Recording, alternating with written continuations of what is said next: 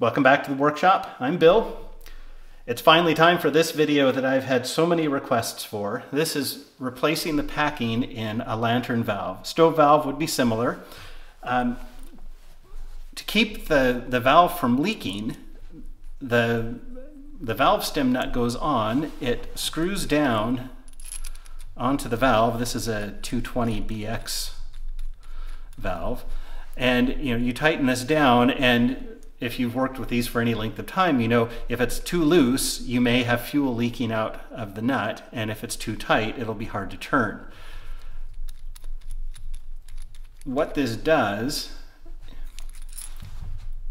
there's a graphite cylinder from the factory at any rate. There's a graphite cylinder on this 220. It sits between these two pieces of steel, these two steel cylinders. And what happens is, so if, if we were replacing it, we'd slide, I don't know if this, that's not gonna come off that easily, um, but uh, we would slide this off, slide the new packing on, and you can buy, if you don't wanna do it the hard way here, you can do it the easy way and go to Old Coleman Parts and buy a replacement graphite packing and put it on there and, and just put it back together. It's quick and easy. Um, I'm on Vancouver Island. I don't have easy access to Old Coleman Parts. Uh, especially when I get surprised with a project like this in the middle of another project. So I keep graphite packing rope on hand and this is what I typically use and as far as I'm concerned it works just as well as the factory packings. But what you're doing is you have some kind of graphite cylinder or rope stuffed in between here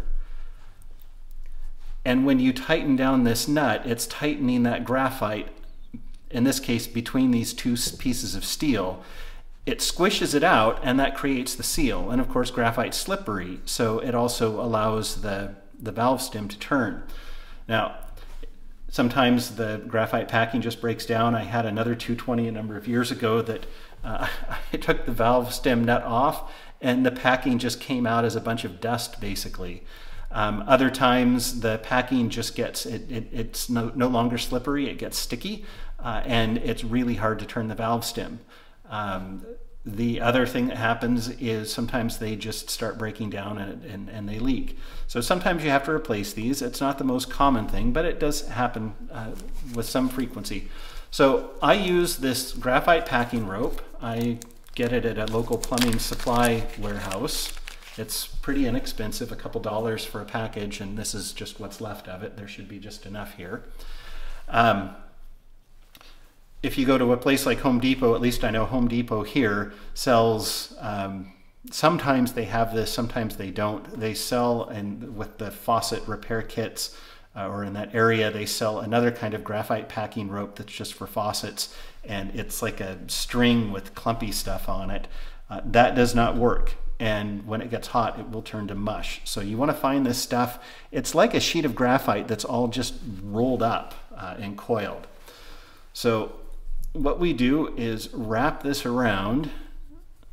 I can't really tell you how many wraps to put on, on there. It's going to depend on the rope you're using. Um, usually, see, I'm going to say three is probably going to be pretty good. I'm going to just go ahead and try to use all of this because um, this is a fairly large valve. So you wrap it, wrap it around in a coil. My rule of thumb is use enough that it's difficult to get the, the, uh, the valve stem nut back on. So we'll thread this in. I'm going to screw the valve all the way in, and, and this will help some of that packing to work its way in. Notice the packing is basically like a um, it's like a sheet of thin sheet of graphite that's all coiled up. So it, it's got a lot of room to compress. And uh, see, this was so easy to put on. This may actually not be, a, be enough. Oh, actually, no, there we go. All right, this might be borderline because usually it should be, my rule of thumb is for it to be a little more difficult than that to put on.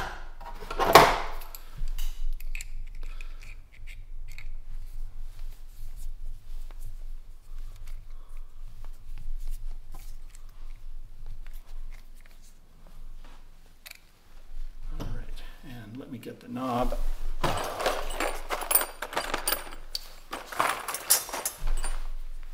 We've got our knob. We'll see how easy or hard it is to turn. actually that's that's doable, but let's try it once or twice. That's too hard, so we'll back this off. But that's actually a good sign.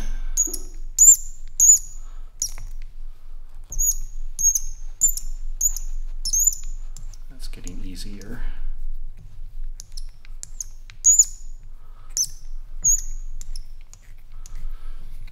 I'm gonna go ahead and take the nut off just to double check my work. And we'll see what it looks like in there.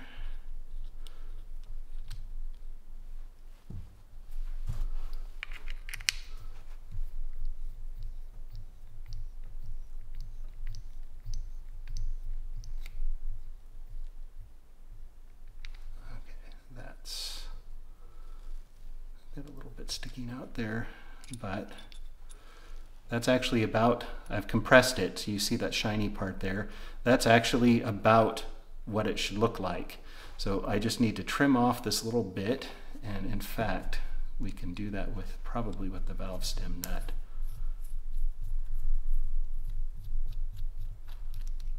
There we go. I think that's what was squeaking, was that was putting undue pressure on this piece of steel here.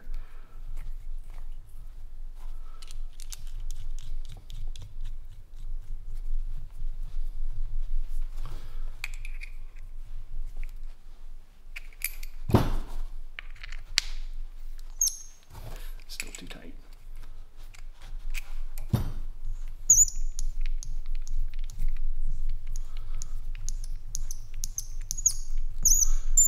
You can play with it over time, it'll loosen up a little bit too, but there you have it. Repacking a lantern valve, and uh, that should be just as satisfactory as the factory packings. So thanks for watching, hope this helps.